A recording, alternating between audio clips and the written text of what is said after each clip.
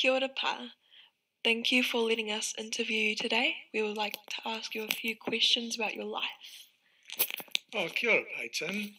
Um, tēnā koutou katoa, um, Whaea Jo, uh, Wai, and Abby. Good to be with you here this morning. Thank you for this invitation to answer your questions. And, and uh, Peyton, what, what is your first question today? Where were you born and raised? Where was I born and raised? Well, I was born in Heretaunga, which translates from the Maori into English as Hastings in Hawke's Bay.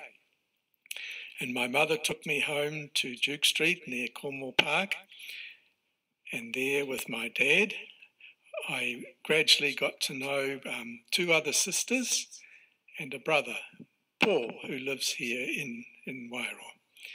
Um, I was raised in Hastings, and so I used to go to St Mary's Catholic Primary School, and then across the city in St Joseph's Catholic Primary School. And then in 1960, I went to St John's College or high school for my education.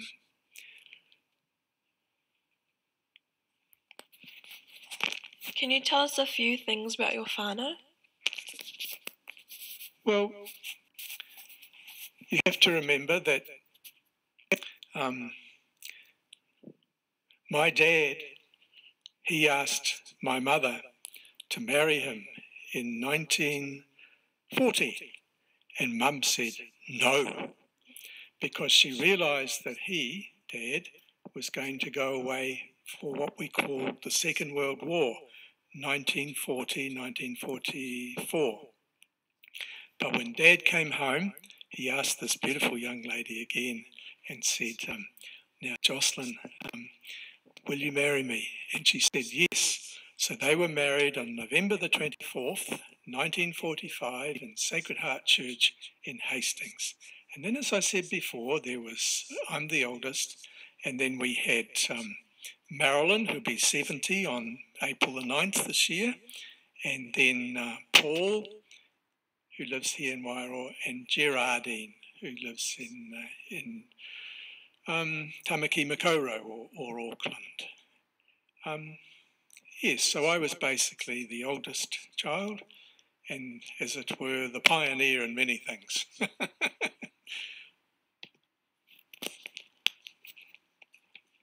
What are some of your favourite things to do when you're not serving your people as a priest? Right. When I'm not serving people as a priest, well, one of my primary loves is fishing. So basically, I I um, I love uh, trout fishing. So when I was about twelve or thirteen, my dad used to take me out fishing, sea fishing first of all, down at Clive and Haumoana and all the river mouths and down near Napier and Hastings. And that's where I got my love of fishing. And then I used to have a lot of sea fishing. But when I was 12 or 13, Dad introduced me to trout fishing, which I really love. And so while I'm a priest, I've been going trout fishing up to Waikaremoana, the Waikari Tahiki River stream that flows through the Puka Puka station, and uh, Lake um, Tutira. I love going there for fishing, and sometimes I take my tent and just have a, a rest on the, on the Sunday night and fish earlier in the morning on um, on the Monday morning. So that's what I. And then also I like um, tramping, um, walking, reading, cooking. Um, yeah, so those sort of things keep keep me out of mischief, Peyton. What are some of the special memories you will take with you of your time here at St. Peter's Parish, Wairoa? Thank you, Wai, for your question. Wai, I, I have many memories, but I think basically it's about the people. The people of the threefold community of faith, the families, the kaumata, kaumatua, the kuia, um, the children and the tamariki, the rangatahi, the younger people. Um, being there at Tawhatia Maru and involved with the people in their tangihanga, in their weddings, their baptisms. Um, being here in the parish of St. Peter's and being here in the school. Um, I suppose I've really loved being in the school because the young people, the children, the tamariki are very friendly, very welcoming. They've always made me part of their activities, whether it's sport or Wednesday church prayers or teaching in their classroom or interviewing me at different times. Um, I've enjoyed I've enjoyed that.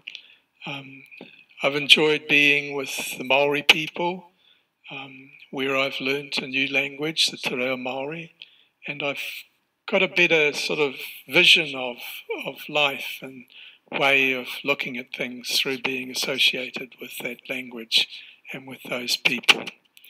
Um, I've worked, I've enjoyed working within the school with the principal, the the board of trustees, the teachers over the years, and, and coming to um, to know them. But I suppose one of the bigger things is just as a priest, just being there for people, being there with their hopes and their dreams, their times of sadness, their times of celebrations, and just basically um, loving them and they loving me. And Wairoa is a great town, eh? We have a few mischiefs, but basically it's a town that where people, um, many people, I don't know who they are, but they wave out and greet me and welcome me um, when I'm moving around the town, the Wairoan districts.